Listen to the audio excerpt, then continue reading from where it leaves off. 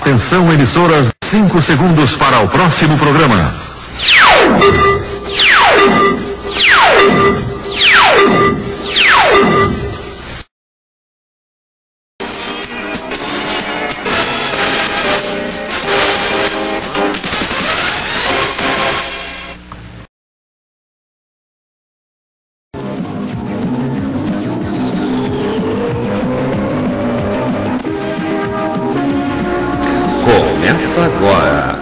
Jornal André Amorim, um jornal cheio de notícias até o fim.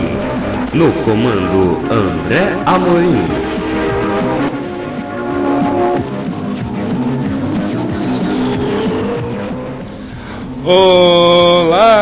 Olá! Muito bom dia, boa tarde, boa noite. Brasil! Tudo bem com vocês? Tudo bem? A partir de agora, Jornal André Marinho, jornal cheio de notícias até o fim, edição 2004 de hoje.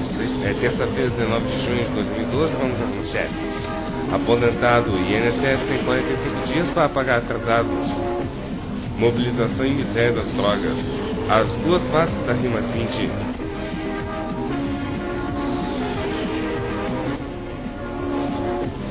Top grávida seria a pivô da separação de galhaço.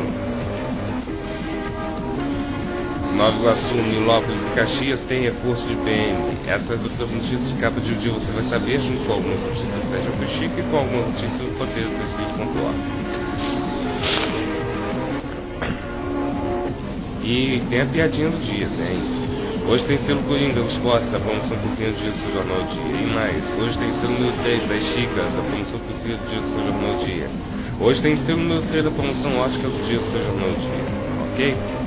O Jornal André Morim começa agora. Estas e outras notícias você vai saber logo mais no Jornal André Amorim que já está no ar para você.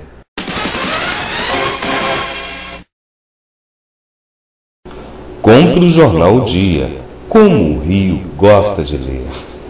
Os preços do Jornal Dia são de segunda a sábado, vinte centavos. Isso mesmo, um real e vinte centavos. No domingo, o Jornal Dia custa o dobro, quarenta centavos. Isso mesmo, dois reais e o site de O Dia Online, www.udia.com.br. Repetindo, www.udia.com.br. Será que eu tô esquecendo alguma coisa? Loção hidratante Hidra Mais. Mais hidratação e proteção para peles ressecadas. Mais tempo de ação e mais economia. É mais suave e deixa a pele mais perfumada. Agora você não esquece. Aliás, o meu corpo nunca esquece. Hidra Mais. Uma experiência inesquecível.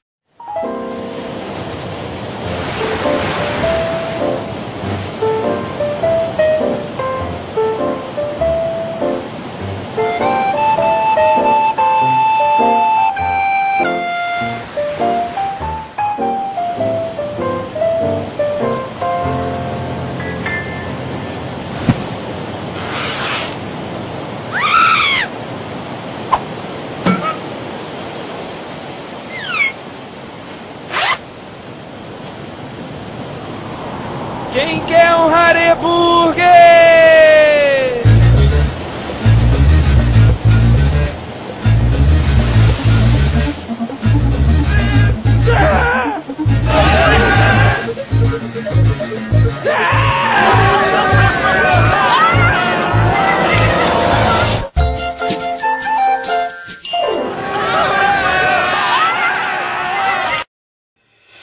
Conheça o Ministério Internacional Crescendo em Graça, o governo de Deus na Terra. Sede Nacional, Rua Barão do Bom Retiro, 88, Engenho Novo, Rio de Janeiro. CEP 20.715-003. E o telefone é o Cé Operador 21 2461 0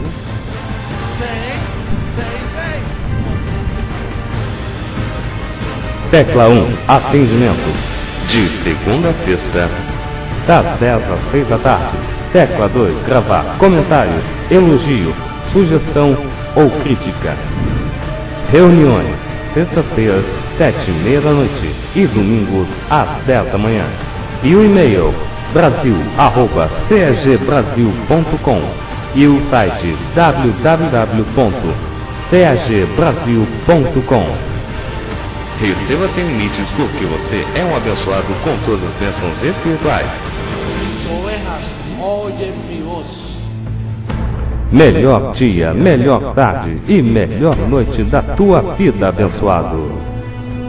Assim te declaramos, porque tudo te obra para o bem. Quer conhecer Deus? Ele está aqui na terra.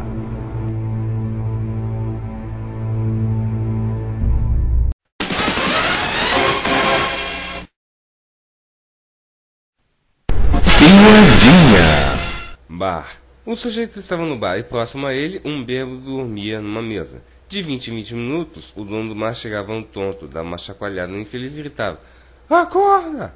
Depois da terceira ou quarta vez, o cara não aguentou e chamou o dono. Pô, sacanagem é esta. Por que você está acordando o cara e deixando-o continuar na mesa?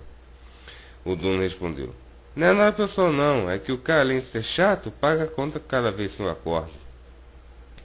As notícias, por favor. There's only one place for Imus in the morning. 66 WNBC. Jornal André Amorim. Oi, oi, oi, oi! Jornal X de notícias até o fim. Aê! Agora, no Jornal André Amorim, a notícia mais quente do dia. Mobilização e miséria das drogas. As duas faces da Rio Mais 20. Rio Mais 20. A conferência expôs mundos opostos à mesma cidade. No centro, milhares de mulheres protestaram em defesa da igualdade. Na favela de Manguinhos, indiferente à política, dona Vera de 60 anos fumou crack na frente da imprensa. Manifestações pararam no trânsito e a prefeitura alerta. Engarrafamento vai piorar.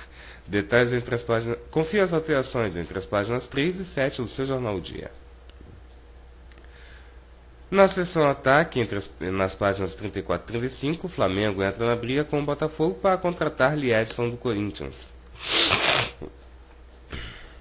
Nas páginas 44 e 45, na seção de AD, a convite do dia, piloto testa exposição interativa sobre cena que chega hoje ao Rio. Na página 29, na seção País, Niterói, prefeito Jorge Alberto Silveira é julgado inelegível por propaganda irregular. Detalhes na página 29, na seção País. Na página 8, Nova Iguaçu, Nilópolis e Caxias têm reforço de PM. As três cidades serão as primeiras na Baixada a receber ma mais patrulhamento em julho. Na página 51, na seção de AD, Top Grávida seria pivô da separação de Galhaço. Ator confirma término com Giovanna Eubank, ou Eubank, como queira.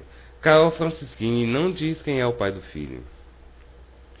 Na página 21, aposentado, INSS tem 45, tem 45 dias para pagar atrasados. Justiça Federal quer agilizar cumprimento de decisões e cobra dados à Previdência. E agora, as notícias do site protejasseusfilhos.org. Norberto Ribeira pede milagre aos santos violadores. A ativista Julia Kung, ou Klug, né, reclama novamente Roberto Ribeira por encobrir padres pedófilos. Deve ser Norberto Ribeira, né? México. Julia Klug gritava palavras de ordem dos bares da Catedral Metropolitana no México enquanto o cardeal realizava bênçãos nas palmas do Domingo de Ramos, ano passado. Com um cartaz onde se dizia Norberto Ribeira pede, pede aos santos violadores por um milagre, já que se afastou dos encobridores, com Mas- Maciel e João Paulo II, os encobridores. Segundo o NSS, Oaxaca, a ativista Julia Klug, vestida de cardeal com uma máscara de porco, levantou sua voz de protesto às portas da Catedral Metropolitana para exigir que o Vaticano denuncie os padres pedófilos, tudo isso enquanto Ribeira abençoava as palmas na missa do Domingo de Ramos. Apoiamos a coragem de Julia Klug em pedir justiça para todos os casos de pedofilia, exigindo levar aos tribunais que, os que cometem os fatos e aos encobridores por seus intervalos grandes ou porque eles eles estão prontos para canonizar, entre aspas, não podem ser tocados, tor tornando vítimas silenciosas diante de tanta vontade. Outra notícia.